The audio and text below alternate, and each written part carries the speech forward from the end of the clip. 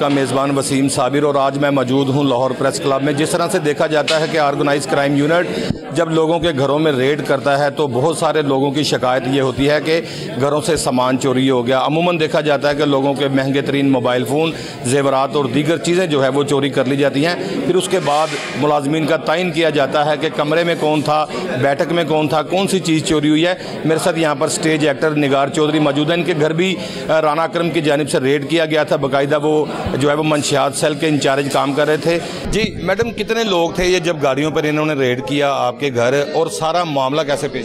अ, अस्सलाम वालेकुम सर ये जो मामला पेश आया है ये पाँच सात दो हज़ार चौबीस को आया है। और ये लोग सुबह सात पैंतालीस से आठ पैंतालीस तक मेरे घर पे रहे हैं। इन्होंने एक घंटे के अंदर जितना मेरे घर में सामान था ज़रूरी डॉक्यूमेंट्स थे मेरे जो रजिस्ट्रीज थी और मेरी जो चीज़ें जितनी भी थी वो सारी इन्होंने उठाई हैं और उठा के वो सारी ले गए और हमें नहीं पता मेरे हस्बैंड को ले गए उसकी गाड़ी को घर से ले गए। वो हमें नहीं समझ आई कि इन्होंने क्या कि हमें गन पट्टी अ, गन पॉइंट पे इन्होंने हमें बिठा दिया साइड। कमरे में यरगमाल बना रखा। जी। मैं थी और मेरी भाभी थी और उसके बच्चे थे घर पे और मेरा हस्बैंड था और कोई भी नहीं था घर पे। इन्होंने हमें साइड पे बिठा दिया कि अगर तुम शोर करोगे अगर तुम लोग बोलोगे तो हम तुम लोगों को ज़्यादा का ज़्यादा करेंगे। हम लोग डर के एक हमारे साइड पे बैठ गए। इन्होंने मेरे हस्बैंड को उठाया है। वो भी सोया हुआ था मैं भी सोई थी। मैं अपने अलग कमरे में सोई थी वो अलग कमरे में सोए थे। मुझे कोई प्रॉब्लम थी इस वजह से मैं नहीं सोई थी उस अपने कमरे में नहीं थी। अच्छा मुझे एक चीज़ बताएँ जब लोग ये घर में दाखिल हुए हैं तो आपने पूछा नहीं कि आप कहाँ से आए हैं और क्यों आए हैं? सर मैंने जब मैं सोई हुई थी उठी हूँ तो मैंने देखा तो ऐसे जैसे चोरों की तरह इन्होंने दरवाज़ा कट किया है किसी ब्लेड से। ब्लेड से बाहर वाला दरवाज़ा कट करके अंदर आए हैं। मैंने इनसे शोर डालने की कोशिश की तो उन्होंने बोला कि चुप कर जाओ वरना हम तुम्हें मारेंगे। ये तकरीबन कुछ चार लोग थे मैंने उस एप्लीकेशन के अंदर उन बंदों के भी हिलिए दसे बताए हैं मुझे उनका नाम नहीं पता। अच्छा मैं चुप कर गई डेफिनेटली आपको पता है ऐसे मामले में मैं क्या कर सकती थी? मैंने आपने अपनी इज़्ज़त बचाई कि यहाँ पे जलील करेंगे थप्पड़ भी मार सकते हैं गाड़ी में बिठा के ले जाएँगे कोई झूठा मुकदमा दर्ज कर देंगे। हाँ जी इज़्ज़त भी लूट सकते हैं क्योंकि इनका कोई पता नहीं ये पक्के डाकू हैं। ये जो पक्के के डाकू हैं ना ये वो डाकू हैं। इन्होंने दिन दिहाड़े हमारे घर पे टिकेटी की है। फिर राना अकरम वो बंदा था जिसने सारा सामान समेटा। और उसने मुझे मुझे- मैंने उसे जानने के टाइम पे पूछा मैंने कहा सर क्या किस सिलसिले में इसको लेके जा रहे हैं? कहता थोड़े दिनों में आपको पता चल जाएगा जब आप आएँगी। आपके घर से मंशियात बरामद हुई थी? नहीं सर। यानी कि जो पुलिस ने नाजरीन मुकदमा दर्ज किया है थाना वादत कलोनी में, जो कि निगार चौधरी के घर का बाकायदा वकूआ बनाया गया है कि जी हमने वहाँ से मंशियात पकड़ी है और उसका मुकदमा दर्ज किया गया है। मुकदमे की जो एफ़ आई आर की कापी है, उसमें निकला तो आपकी ज़ुबानी कुछ नहीं आपके घर से। पुलिस वालों ने जो चीज़ें डाली हैं। उन्होंने वकुआ वारदात गलत किया उन्होंने मेरे घर से सब कुछ निकाला है और निकाल के उसके बाद उन्होंने दस तारीख को वकुआ वारदात कर दिया है वादित वादत कॉलोनी का। वादित कलोनी से जी उनकी गाड़ी से इतना सामान बरामद हुआ है। दस किलो मंशियात उसकी गाड़ी से बरामद हुई। आपके मुताबिक पुलिस ने घर में रेड किया फिर जब एफआईआर दर्ज की गई तो उसमें वकूआ बनाया गया है कि गाड़ी जा रही थी हमने उसको रोका। जब गाड़ी की तलाशी ली गई गाड़ी के अंदर से मंशियात बरामद हुई। मतलब एक किलो जो कोक थी उनकी कोक गोद में थी और जो गोलियाँ थी उनकी बैग पे डिग्गी में थी। और इस तरीके से हमने वो पूरा वकुआ उन्होंने ये बना के तो उन्होंने वहाँ पे वो कर दिया। क्या झोली में रखी गई जो मंशियात थी वो गाड़ी में कहीं नहीं आ सकती थी जो पुलिस ने कहा? झोली में आ सकती थी वो सिर्फ़। उसके बाद फिर जब आपके घर से ये लोग गए तो आपकी कौन कौन सी चीज़ चोरी करके ले गए? सर इन्होंने तकरीबन कोई तीस से चालीस लाख रुपया कुछ कैश में मेरे पास कुछ फॉरनर करेंसी थी क्योंकि हम लोग जहाँ पे भी जाते हैं हम लोगों को फ़ंक्शन के लिए जाते हैं तो कहीं से आपको रियाल मिल जाते हैं कहीं से दीगर चीज़ें? नहीं नहीं सर मैं जब आउट ऑफ़ कंट्री जाती हूँ मेरे ज़्यादातर होते हैं बाहर की टूबर्स होते हैं तो जब हम लोग वहाँ पे जाते हैं तो हम लोग जो ना ये सारी चीज़ें जो जितने भी पैसे होते हैं या कुछ भी हम लोग ज़रूरत नहीं होती इनको चेंज करवाने की वो सारे वैसे थे तकरीबन तीस से चालीस लाख रुपया है बकाया मालियत जो है इवन दैट स्ट्रेटनर घर से ले गए मेरे गारमेंट्स घर से ले गए। मेरे जो कपड़े थे वो भी ले गए। लेडीज़ भी। लेडीज़ भी। मेरे स्ट्रेटनर ड्रायर जो जो मेकअप था वो भी ले गए। यानी कि आपका मकसद कहने का कि ऑर्गेनाइज क्राइम यूनिट जो कि सी ये है इन्होंने आपके घर में रेड नहीं किया डाका डाला। डाका डाला है। और फिर फिर ड्रॉ भी हर चीज़ को निकाल निकाल के चेक कर रहे थे। फिर एक कहते जी एक बंदा बोला तो कहता जी एसी भी उतार लें। क्यों? एसी में कोई इश्तेहारी है? मैंने कहा एसी भी उतार ले फिर बेड भी ले जाए। राणा अक्रम खुद साथ था? राना अक्रम जो था वो आ, सारा सामान इकट्ठा करने पे था। उसने एक शॉपर पकड़ा हुआ था। इवन मैं जो मेरा बैग था उसके अंदर जो सौ सौ के नोट थे ना वो भी उसने उसके अंदर डाल दिए। अच्छा मुझे अब बताएँ कि इंक्वायरी हो रही है। इमरान करामत बुखारी साहब एक बड़े नाइस। पर्सन है। वो इंक्वायरी कर रहे हैं। उनके उन्होंने इंक्वायरी की है उन्होंने इनको शोकास कर दिया है। इनको सज़ा के लिए भी मतलब तैयार कर दिया है। उसके ऊपर इमरान उस फुरकान बिलाल ने एक इंक्वायरी की है झूठी। इंक्वायरी के ऊपर इंक्वायरी नहीं होती। ये फ़र्स्ट है। इसने झूठी इंक्वायरी की वो मैं आपको डॉक्यूमेंट्स भी देती हूँ। इंक्वायरी करके उसमें बोला जी मैंने मुझे उसने बुलवाया जी मेरे हस्बैंड को जेल से बुलवा के उसने उसका बयान लगाया उसके अंदर। वो कैसे जेल से बुलवा सकता है मेरे हस्बैंड को? बुला के उसको बयान लगाया जी मतलब वो साइला को जवाब नहीं दे सकी तो रिहाना लिहाजा जो है ना राना अकरम है वो बेगुनाह है तो उसको जो ना इस केस से बरी किया जाए। किसने की ये इंक्वायरी ये किए फुरकान बिलाल एसपी ने। जबकि उसने इमरान करामत बुखारी साहब जो एडमन लगे हुए हैं उन्होंने इनके खिलाफ इंक्वायरी लिखी हुई उन्होंने इनके खिलाफ लिखी और शोकाज नोटिस भी कर दिया। ठीक है। इसके बावजूद इन्होंने ये किया। जिसकी वजह से फिर मैंने कहा ये तो बात ही ख़त्म होगी जिसकी वजह से मुझे ये सारा करना पड़ा। मेरे नाजरीन ये जानना चाहते हैं कि आपके साथ बड़ा जुल्म ज़्यादा हुई है। साथ ज्यादती इसी वजह से भी हुई है कि देखे जो राना करम है जो उसकी ख्वाहिश नहीं पूरी हुई डेफिनेटली उसने उनको पैसे खिलाए मेरे लिए नहीं खिलाए। आपने उसको उनको खिलाए आप उनसे रिसीव करें। आपने मेरे घर को क्यों तबाह कर दिया? मैं नहीं काम करती हूँ मैं नहीं अब इनके पैसे आपको बुलाने के लिए दिए गए जी सर मुझे बुलवाने के लिए दिए गए थे। अगर कोई तीसरा बंदा आपके नाम से पैसे ले जाता है कि मैं निगार चौधरी को लेके आता हूँ तो फिर आपका इसमें गुनाह क्या? मेरा क्या कसूर है? यही मैं जानना चाहती हूँ कि उसके अंदर मेरे हस्बैंड का क्या कसूर है? मेरा क्या कसूर है? या हमें ये बता दें कि हम आर्टिस्टों की कोई लड़कियों की कोई लाइफ नहीं है हम लोग शादियाँ नहीं कर सकती हम नहीं कर सकते ना इनके हिसाब से। जो अगर हम करते हैं या तो हमारे बंदों को हमारे खिलाफ करके उनको उनसे हमें कत्ल करवा क्या यही चाहते हैं कि आप हमारे हाथों के खिलौने बनते रहे? जी हाँ वो यही चाहते हैं। आप देखें किस्मत बेग वाला वाक़ देख लें। कितने हमारे ऐसे वाक़ात हुए हैं कि जो सिर्फ़ और सिर्फ़ इसी वजह से या तो हम उनकी बात नहीं मानते या हम अपनी ज़िंदगी का सोचते हैं कि चलो हमने ये करना है उसके बाद या तो हमें कत्ल कर दिया जाता है या फिर उनको फंसाया जाता है जो जैसे किस्मत बेवकूफ़ी जी बिल्कुल यही ना यही सारी चीज़ें हो रही हैं हमारे साथ। अच्छा मुझे माजिद बशीर के मतलब बताएँ। माजिद साहब जो हैं उन्होंने मेरे साथ टू मच ज़्यादा की है। हालाँकि एक वक्त था, वो मुझे अपना मतलब मैं नरगिस की वजह से उसकी बहुत इज़्ज़त करती थी और बहुत ज़्यादा था। एक वक्त आया कि इसने मुझे कोई एक छोटा सा काम था, तकरीबन 2023 में मतलब छः सात महीने हो गए ये साल ही हो रहा है, साल ही हो रहा है इस बात को। मैंने इसको बोला कि मेरी एक एप्लीकेशन है, मैं उसको पर्चे में कन्वर्ट कराना चाह रही हूँ कि मेरा ना एक गाड़ी चोरी हुई है। इसने मुझे बोला जी आ जाओ यार हम बैठ के बातें करेंगे गपशप लगाएँगे फिर मैं उसके बारे में आपसे सुनूँगा तो फिर मैं आपको बताऊँगा। यानी कि आपकी ये जो है नरगिस की वजह से माजिद बशीर के साथ सलाम दुआ थी। आपको पुलिस के रिलेटेड कोई काम पड़ गया? तो आपने माजिद बशीर को कहा कि मैंने एक एप्लीकेशन देनी है गाड़ी चोरी के हवाले से किसी को नामजद करवाना होगा? तो उन्होंने कहा यार तुम मेरे पास आ जाओ। फिर क्या कहा जी आपने? मैंने कहा कि सर आप मुझे लग रहा है कि आप जीजू भूल गए हो कि मैं आपकी साली हूँ। कहता वो भी तो आधे घर वालियाँ होती हैं। अच्छा जी जी। मैंने उसका फ़ोन स्विच बंद कर दिया। बंद करने के बाद मैंने एफआईआर कटवा ली। लेकिन मैंने किसी और से करवाई। फिर उसके बाद मुझे रात को फ़ोन आता है। मुझे कहता है हाँ मुझे मैं मैंने तुम्हारी एफआईआर काट दी। मैंने कहा मुझे पता है जहाँ से मेरी एफआईआर कटी है। अब आप तुम छोड़ दो। ठीक है। वहाँ से हमारी काम शुरू हो गया। आप समझती हैं कि सारा मामला जो है वो माजिद बशीर का नरगस की वजह से नरगिस की वजह से माजिद बशीर जो माजिद बशीर है माजिद बशीर को नरगिस जैसी चाहिए और नरगिस को माजिद बशीर जैसा चाहिए। आपको शुरू से उनकी हिस्ट्रियाँ पता ही और हमें कोई भूल नहीं है कि आपको भी किसी बात की भूल नहीं है कि ये लोग कैसे हम लोगों को टॉर्चर करते हैं, जो घर से एक लड़कियाँ आई होती हैं, उनको हमें उनके, इनके हाथों का खिलौना कैसे बनती हैं, वो आप लोग हमसे ज़्यादा जानते हैं। मैं इससे ज़्यादा खोलना नहीं चाहती बात को, क्योंकि मैं भी फैमिली वाली हूँ, मेरे भी घर में कुछ ऐसे मामला हैं जिनको मैं नहीं खोलना चाहती। अमाद भट्ट के हवाले से अगर बात की जाए तो अमाद भट्ट कितनी देर से आपका जाने वाला था और कौन से सन में आपकी शादी हुई थी? क्या? सर अभी एक साल हुआ है शादी हुए।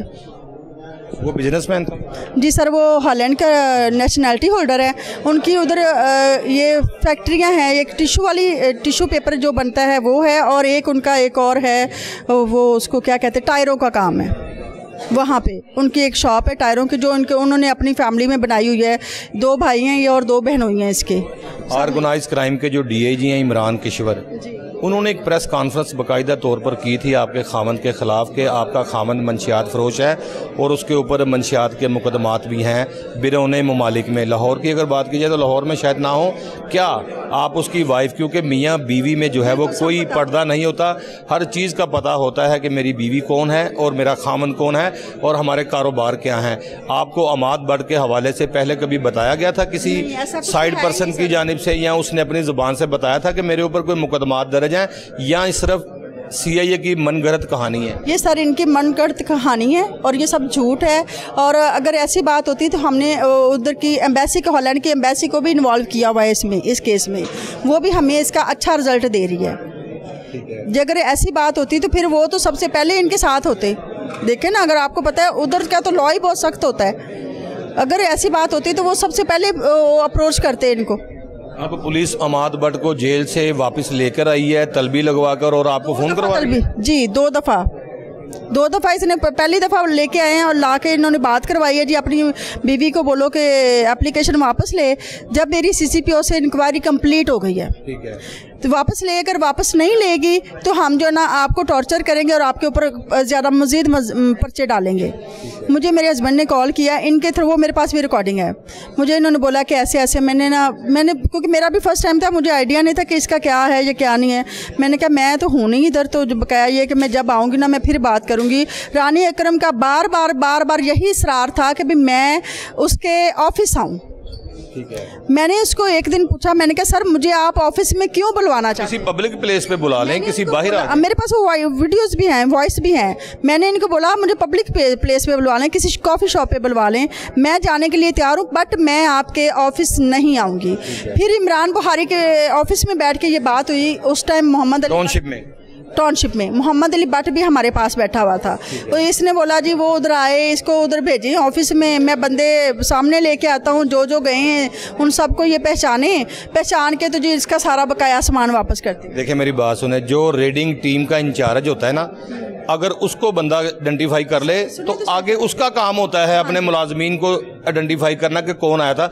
जब राना अकरम को आपने शनाख्त कर लिया कि ये मेरे घर आया था तो फिर आगे इंक्वायरी में राना अकरम से पूछना चाहिए था कि आपके साथ कौन कौन से मुलाजमीन रोज नामचे के मुताबिक रवानगी करके हर हाल में मुझे अपने ऑफ़िस ही बुलवाना चाहता था। उसका जी पता नहीं ये उसका क्या मुद्दा था या क्या? फिर बाद में कहता जी बा, बाजी बाजी। मैंने कहा मुझे ना डोंट कॉल मी बाजी। मैंने कहा मुझे बाजी ना कहो। पता चल गया होगा बाजी रिकॉर्डिंग कर रही है। बाजी रिकॉर्डिंग कर रही है। मैंने कहा मुझे बाजी नहीं कहो मेरी सिर्फ़ मेरा सिर्फ़ एक ही भाई हम तो बाजी बहन इसको ही बोलते हैं ना कि भाई बहन को। कहते हैं हम बाजी प्यारी को कहते हैं। बाजियों के भी मतलब है। हाँ जी बाजी हम प्यारी को कहते हैं। अच्छा एक चीज़ मुझे बताएँ कि अब अमाद भट्ट के हवाले से कहाँ तक मामला पहुँचे हैं? आपने सुना है कि कोर्ट में भी कोई रिट शीट कर जी सर मैंने रिट डेफिनेटली मैंने मुझे मैं सी गई थी उन्होंने मुझे बोला उसके स्टाफ ने कि आप जो ना अब एक रिट उधर कर दें हाई कोर्ट में कर दें और सेशन कोर्ट में कर दें, ताकि आपको इसका जल्दी रिज़ल्ट मिले। आपका बंदा बेगुनाह है, हमने साबित कर दिया है, लिहाजा वो जो लेट कर रहे हैं या जो इसको गलत कर रहे हैं, आप वो जब कोर्ट बुलवाएगी तो उसके ऊपर ये सारी चीज़ें कर लेंगे।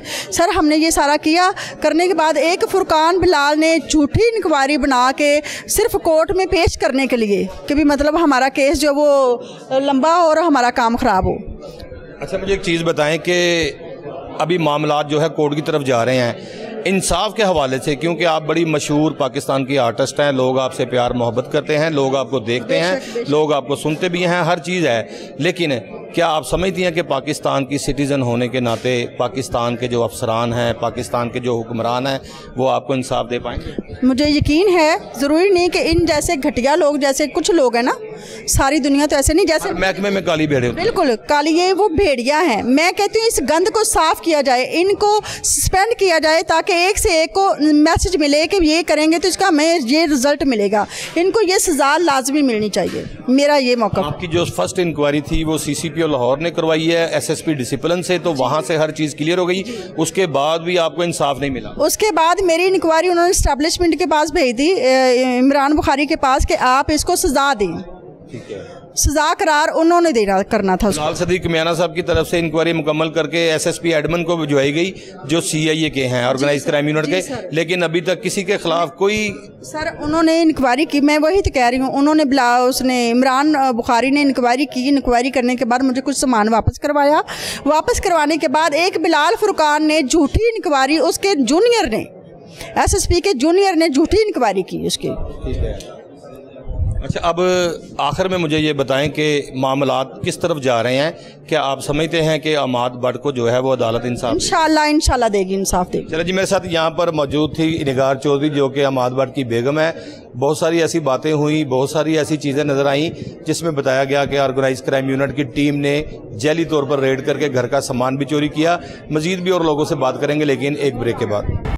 Welcome back after the break break के बाद मैं मौजूद हूँ अमाद भट्ट के वकील के। हमरा मेरे साथ यहाँ पर यासीन साहब मौजूद हैं। आपका नाम यासीन है जी? क्योंकि क्योंकि यासीन अब्दुल नासिर इनका मुकम्मल नाम है। इनकी जानब चलते हैं इनसे बात करते हैं। एक ऐसा मुकदमा आपके पास आया है जिसमें पुलिस वालों ने बे इंतहा गलतियाँ की हैं।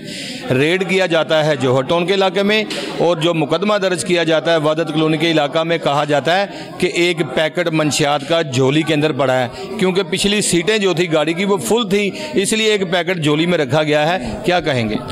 सर, देखें, जो झूठ है ना, वो दस साल बाद भी झूठ रहता है और सच की एक जो है वो खासियत है कि वो सौ साल बाद भी सच जो है, उसको कोई आँच नहीं है। सर, इन्होंने एक झूठा वकूआ बनाने की कोशिश की दस तारीख का, जबकि इन्होंने पाँच तारीख को अमाद अली भट्ट को उसके घर से गिरफ़्तार कर लिया हुआ है। हमारे पास जो गाड़ी इन्होंने वकूआ में लिखी है, उस गाड़ी की ट्रैकर रिपोर्ट हमारे पास मौजूद है। देखें, नकल के लिए भी अकल की ज़रूरत होती है, जो इनके पास नहीं है। उस ट्रैकर रिपोर्ट के मुताबिक पाँच तारीख को ही वो गाड़ी जोहर टाउन से वादल कॉलोनी थाने और वादल कॉलोनी थाने से इनके एनआईयू जो नॉर्थ सेल इचरा है। मैं आपसे मैं आपसे एक रिक्वेस्ट करूँगा कि मुझे मेरे नाजरीन इस वक्त आपको लाखों की तादाद में बूढ़े, बच्चे, जवान खुवान देख रही हैं। मुझे शुरू से ज़रा वकूआ बताएँ कहाँ से शुरू हुआ था और कैसे आप जो है वो इस केस को देख रहे हैं अदालत में? जी ठीक है। अच्छा पाँच तारीख पाँच जुलाई को जो है अमाद अली भट्ट के घर रेड होती है। उसका बैक सिनेरियो सारा मैडम आपको बता चुकी हैं कि वजह नात क्या थी। रेड के दौरान जो राना अक्रम साहब हैं वो इनके घर से सामान जेवर मोबाइल कितने लोग होते हैं? पंद्रह क्योंकि आपने किसी रिट पिटिशन में लिखा ही होगा कि इतने अहलकार तकरीबन पंद्रह अफराद थे चार गाड़ियाँ थी इनकी प्राइवेट भी थी सरकारी डाले भी थे दो। इन्होंने जो है वो इलीगल रेड वहाँ पर की। इनके पूरा कच्चे के इलाके में डाकू पकड़ने गए। हाँ डाकू पकड़ने के लिए गए। एक नैदरलैंड सिटीज़न है उसको ये गिरफ़्तार करने के लिए गए और इन्होंने उसको गिरफ़्तार किया। ना गाड़ियों का काफिला जोहर टाउन में दाखिल हो ज़ोर टाउन में दाखिल हो गया जी और किला फतह कर लिया इन्होंने माद भट्ट के घर को फतह कर लिया इन्होंने जाकर वहाँ से सामान और पचपन लाख रुपए का सामान जैसे मैडम ने बताया ये लोग लेकर वहाँ से निकले हैं। यासिन साहब वो तो बता रहे हैं कि स्टेशनर जो बाल सीधे करने वाला होता है वो भी ले गए हैं बुरश भी ले गए हैं छोटे मोटे नौकरानियों के मोबाइल मबूल थे वो भी ले गए हैं। यहाँ तक कि सी वाले कंगियाँ भी उठा के वो बता रही हैं कि ले गए। जी गारमेंट्स भी ले गए हैं वो कुछ मैं नहीं क्योंकि हमें मीडिया देख रहा है दुनिया सुन रही है कुछ ऐसे गारमेंट्स भी वो ले गए हैं जो कि हम बयान नहीं यहाँ पे कर सकते। तो इससे लेवल ऑफ़ पुलिसिंग पता चलता है ऑर्गेनाइज क्राइम यूनिट का कि मेरे ख्याल में इनका नाम किसी ने सही रखा है कि ये क्राइम को खुद ऑर्गेनाइज करते हैं और इनकी ऑर्गेनाइजेशन ऑफ़ क्राइम देखें कि पाँच तरीक को बंदा उठा के पाँच दिन वेट किया कि ये औरत जो है वो किसी तरह मेरी जो अनलॉफुल नीड्स हैं, उसको फुलफ़िल करे तो मैं जो है उसके बंदे को छोड़ दूँ। पर इन्होंने ऐसा कुछ नहीं किया, क्योंकि शादीशुदा थी अब, और दस वाले दिन जो है फिर उसने ये झूठा पर्चा अमाद अली भट्ट मैडम ये भी बता रही है कि मुझे बुलवाने के, मुख्तलिफ़ जगह पर मिलने के, फार्म हाउस पर बुलाने के पाँच पाँच लाख रुपये दिए गए हैं ख़वातीन को भी और दीगर लोगों को भी, लेकिन मैं अपनी ज़िंदगी बड़ी खुशगवार गुजार रही हूँ। मैं किसी भी ऐसे काम में इंटरेस्ट नहीं लेती, ना मैं किसी जगह पे ऐसी जाना चाहती हूँ। उसके बावजूद भी मुझे फोर्स किया गया है राना अक्रम की जानब से बार बार कहा गया है कि मुझे साइड पर मिलें। क्या मामलात हैं? क्या सारे हालात हैं? क्यों चाहता था वो मिलना? सर देखें ग्लैमर वर्ल्ड की जो इवल साइड है उसको अगर हम खोलेंगे तो बात बड़ी दूर तक जाएगी। हम फ़िलहाल इस बंदे की तरह हद तक रहते हैं कि ये बंदा इनको जो है वो अप्रोच करना चाहता था। ठीक। है ये डीएसपी जो है अप्रोच करना चाहता था। जब इन्होंने इनकार कर दिया कि अब मैं ये लाइन छोड़ चुकी हूँ अब मैं शादीशुदा हूँ अब मेरा स्टेटस जो है वो सिंगल से वो मैरिड हो चुका है अब इस तरह की सरगर्मियाँ मुझे जचती नहीं हैं। और देखिए भाई मेरी बात सुने। जो स्टेज अदाकारा होती हैं उनका मामला ये नहीं होता कि लोगों के साथ ख़राब है। स्टेज अदाकारें जो है वो अपना स्टेज के ऊपर डांस करके ऐसी पार्टीज़ में जाकर भी लोगों से पैसे कमा सकती हैं। लोग क्यों इस तरह समझते हैं कि शायद हम इसे अपनी हवस का निशाना बना लेंगे देखें जो माशरे में ये औरत को एक ईजी टारगेट समझने वाली बात है वो भी आप सबके सामने है मेरे भी सामने है जो हमारी पब्लिक है वो भी उसको समझती है। पर चूँकि ये समझते हैं कि इनके पास पावर और सीट का जो एक नाजायज़ इस्तेमाल का इनके पास हरबा आ जाता है इन अफसरान के पास। तो ये आम इंसान से अपने आप को लहदा समझते हैं समझते हैं कि हमारे पास ताकत है। बकरी मलूक हाँ तो हम जो है वो और तरीके से जो है वो हाथ डाल सकते हैं किसी को पर इन्हें ये नहीं पता कि कानून का शिकंजा जो है वो सबसे ज़्यादा सख्त है। अच्छा जी हम बात कर रहे थे घर से सामान चोरी करके ले गए उसकी मालियत कितनी बताई सर कोई पचपन लाख एटलीस्ट उसका जो है ना माली माद बट उस वक्त घर में था जब गिरफ़्तार? जी बिल्कुल घर में था जब उसके पास से कोई चीज़ ऐसी बरामद नहीं हुई? सर कुछ भी नहीं उल्टा ये उसके मोबाइल्स वगैरह सब कुछ ले गए ठीक है? और पाँच दिन तक जो है उसे टॉर्चर करते रहे हैं कि बुलवा अपनी वाइफ को तो हम तुझे छोड़ दो। आपके पास फिर ये भी वीडियो होगी कि जब ये जोहर टाउन में दाखिल होते हैं जहाँ से इसको गिरफ़्तार करते हैं आपके पास वो भी वकूए की कापी होगी? जो इनकी गाड़ियाँ घर पर आई हैं वो डाले की तमाम फुटेजेस जो हैं तस्वीर वो हमारे पास मौजूद हैं और वो हम बहुत जल्द जो है वो भी मीडिया के ऊपर लेकर आएँगे। हमारी जो फ़ाइल है जुडिशल फ़ाइल है उसमें हमने कोर्ट में सबमिट की हुई है वो। तो इन हम जो है मीडिया के ऊपर भी उसको ले यासिन साहब सी सी पी ओ लाहौर ने एक बड़ा अच्छा फैसला किया बड़ी अच्छी इंक्वायरी साफ़ शफाफ की। सी आई ए के ख़िलाफ़ जो है वो लिखा कि इनके ख़िलाफ़ कार्रवाई अमल में लाई जाए। चली गई वापस ऑर्गेनाइज क्राइम यूनिट हेडक्वार्टर में? अब तक क्या सूरत? है सर देखें एक जब आला अफसर ने किसी बंदे को गुनागार कर दिया है तो कोई जूनियर ऑफिसर जो है वो उसको दोबारा से बेगुनाह नहीं कर सकता। उसकी इंक्वायरी भी नहीं कर सकता? उसकी इंक्वायरी भी नहीं कर सकता। हाँ छोटे एसपी ने कोई इंक्वायरी की होती। ऊपर वाला कर सकता। ऊपर वाला उसको तब्दील कर देता।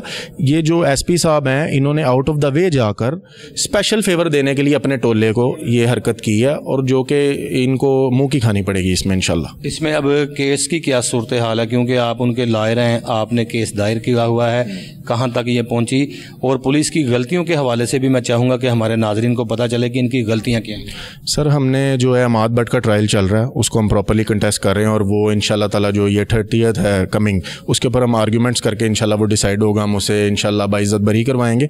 और जो पुलिस ने सारा मिस हमारे साथ किया, उस हवाले से ये गुनागार हो चुके हैं। अब हमने हाई कोर्ट रिट मूव की हुई है, उसमें इंशाल्लाह ताला जो है एपेक्स कोर्ट्स पूछेंगे इनको कि किस कानून के तहत जो है एक आला अफसर ने जब उसे गुनागार कर दिया था तो जूनियर ऑफिसर किस तरह से उसे दोबारा बेगुनाह कर सकता है, ये देंगे, अदालत में जवाब और इन जलालत उठानी पड़ेगी ओ को। राना अक्रम की नेक्स्ट ईयर जो है वो हो रही है रिटायर हो रहा है। मुझे लग रहा है कि इसकी रिटायरमेंट जो है वो यासिन के हाथों ख़राब हो जाए। देखें इज़्ज़त ज़िल्लत अल्लाह ताला के हाथ में है। हमें अपना कंडक्ट जैसी करनी वैसी भरनी। भरनी। हमें अपना कंडक्ट ऐसा रखना चाहिए कि हम इज़्ज़त के साथ जो है वो हमारी सर्विस पूरी हो ना कि इस तरह के हम इलीगल एक्ट्स करें कि हमें जलालत का सामना हो। यहाँ पर मुझे ये बताइए कि ऑर्गेनाइज क्राइम यूनिट के जो डीआईजी हैं फिर उन्होंने ये बात क्यों कही थी कि ये इनका मियाँ जो है वो सबका रिकॉर्ड याफ्ता है और दीगर ममालिक में उसके ऊपर जो है वो मुकदमा हैं? सर ये क्लियर कट झूठ है। हमारा इनकी जो एम्बेसी है नैदरलैंड नैदरलैंड एम्बेसी जो इस्लामाबाद में है वो उनके साथ हम लाइजन में हैं और वो प्रॉपर हमें इसमें हेल्प आउट भी करी है। उन्होंने होम मिनिस्ट्री को लिखा भी है कि इससे हमें मुलाकात करवाएँ। अगर कोई उसका मामला को पर्चा होता तो डेफिनेटली वो कहते कि इस बंदे के खिलाफ सख्त से सख्त कार्रवाई करो पर ऐसा कुछ नहीं हुआ। वो हमें हेल्प आउट कर रहे हैं इस मामले में और मैं एम्बेसी से जो है वो मुसलसल रबते में भी। आखिर बात ये बता दें कि ये कहाँ कड़ियाँ जुड़ रही हैं और कहाँ से कड़ियाँ ये निकली? सर बेसिकली वजह नाद जो मैडम ने आपको बताई है वही सारा इशू है कि अपनी पर्सनल लस्ट को फुलफ़िल करने के लिए सारा मामला रचा गया है और लस्ट उसकी पूरी नहीं हुई तो उसने एक बेगुनाह इंसान की ज़िंदगी के साथ खेल ली। यानी कि उसने सिर्फ़ मैडम को ब्लैकमेल करने के लिए इसको अपनी तरफ़ जो है वो माइल करने के लिए इसके खामन के ऊपर अटैक किया और कितना बड़ा यासिन साहब इन्होंने रिस्क लिया कि मंशियात डाली है। मंशियात के हवाले से भी ज़रा बताइएगा क्या क्या चीज़ एफ़ आई आर में जो इन्होंने डाली है? हम ये नहीं कहेंगे इनसे निकली है। क्योंकि हमने कोई चीज़ ऐसी देखी नहीं। हमने सिर्फ़ एफ़ आई आर देखी है। एफ़ आई आर में देखा गया कि वादत कॉलोनी का वकूआ बनाया गया है क्योंकि जिस तरह से मैडम ने बताया एफ़ आई आर के अंदर कौन कौन सी चीज़ इन्होंने डाली है? सर इन्होंने जो गैर कानूनी तौर पर उसमें हम पे जो पर्चा दिया उसमें इन्होंने एक किलो कोकीन और दस किलो जो है वो डांसिंग पिल्स जैसे हम कहते हैं वो इन्होंने डांसिंग गोलियाँ जिसको डांसिंग पिल्स जो है वो उसके ऊपर डाली हैं अमाद अली भट्ट के ऊपर। नाजायज़ तौर पे जो कि आपको पता है कि इतनी ज़्यादा जो है वेट में कोई भी इंसान पागल तो नहीं है कि वो लेकर ऐसे सड़कों के ऊपर घूमेगा। और वकूआ इन्होंने बनाया कि मॉडल बाज़ार के बाहर ये जो है बग़ैर मोबाइल फ़ोन्स के जो है वो खड़ा था। इतनी जो है मकदार में जो मंशियात है और बंदे के पास मोबाइल फ़ोन भी नहीं है इनकी अपनी स्टोरी जो है वो बिल्कुल कॉन्कोटेड थी। ठीक है सेल्फ कॉन्कोटेड थी और इन ताला ये साबित होगा कि ये झूठे हैं। जब कोई बंदा किसी को मंशियात देने के लिए निकलता है उसके पास मोबाइल फ़ोन होता है वो उस बंदे को फ़ोन करके बुलाता है कि मैं इस जगह पे खड़ा हूँ अपनी मंशियात ले जाओ। तो इन्होंने बगैर मोबाइल के जो है वो इस तरह का वकूआ बनाया। जी बिल्कुल ज़ाहिर है फेक स्टोरी एक उन्होंने बनाने की कोशिश की ठीक है और जब लोकेशन ना ताकि हाँ काफ़ी सारे उसके जो है पस मंज़र थे। देखें पाँच दिन का जो बीच में है वक्फ़ा कि पाँच को उठाया और दस तारीख को जो है वो कुआ बना रहे हैं। ये इनके आला अफसरान के सामने इन्हें पर्चा खारिज करना चाहिए। अभी बतौर लायर आपने कितनी उनकी गलतियाँ तकरीबन निकाली होंगी जिसमें आपको बड़ा बड़ा यकीन है कि ये बाइज़त बरी हो जाएगी। सर, देखें, ये बड़े, वो कहते हैं ना, मैंने फिर वो बात रिपीट करूँगा कि नकल के लिए भी अकल की ज़रूरत होती है। इन्होंने नकल बेशुमार ब्लेंडर्स उसमें किए हुए हैं, ठीक है? तो झूठ जो है, वो झूठ ही रहता है और सच जो है, उसको कोई आँच नहीं है। तो इन ताला, मैं ये समझता हूँ कि हमारा जुडिशल सिस्टम जो है, वो इस इंसान को बरी करेगा। मेरे साथ यहाँ पर यासीन मौजूद थे, जो कि निगार चौधरी के वकील हैं बाकायदा तौर पर। अमाद के ये वकील हैं, क्योंकि निगार चौधरी ने इनको हायर किया है। जिस तरह से ऑर्गेनाइज क्राइम यूनिट के हवाले से मैं बताता चलूँ कि अमूमन ऐसी शिकायत मसूल होती हैं कि जब भी ये किसी के घर में रेड करने के लिए जाते हैं, किसी इश्तहारी मुलम को पकड़ने के लिए जाते हैं तो सबसे पहले दराज और सेफ़ अलमारी खोली जाती है, जिसके अंदर इश्तहारी मौजूद नहीं होता। इश्तहारी या तो पुलिस को देख के भाग जाता है, या पुलिस पार्टी पर फायरिंग करता है, या फायरिंग में मारा जाता है।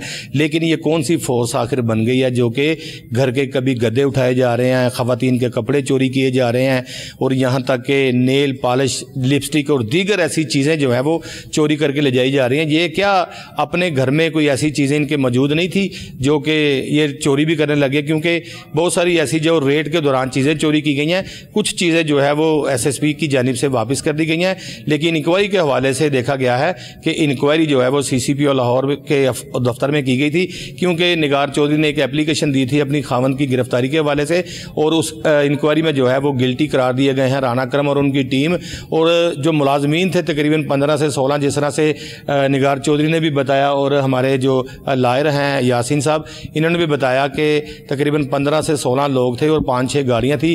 कुछ गाड़ियाँ प्राइवेट थी, कुछ गाड़ियाँ जो हैं वो सरकारी थी, लेकिन गाड़ी के कैमरों के हवाले से देखा जाए तो गाड़ियाँ जो है वो कैमरों में भी आती जाती नज़र आ रही हैं कि रेड किया गया है। लेकिन फिर पुलिस को ऐसी कौन सी ज़रूरत पेश आई कि वादत कलोनी के इलाका में एक वकूआ बनाया गया कि एफ़ आई आर के मुताबिक एक पैकेट जो है वो अमाद बाट की गोद में पड़ा हुआ था और ये ड्राइविंग सीट पर बैठा हुआ था। इसके पास मोबाइल फ़ोन भी मौजूद नहीं था। बहुत सारी ऐसी चीज़ें जो है वो यासिन जो है बताई हमें। तो जिसमें जो है वो इनका ये कहना था कि इन उनके बाइज़त बरी होने के बहुत सारे चांसेस हैं। आइंदा प्रोग्राम रोज़ नामचा के लिए अपने मेज़बान वसीम साबिर को इजाज़त दीजिए। सेम वक्त, सेम टाइम आपसे फिर मुलाकात होगी। अपना बहुत सारा रखिएगा। अल्लाह हाफिज़।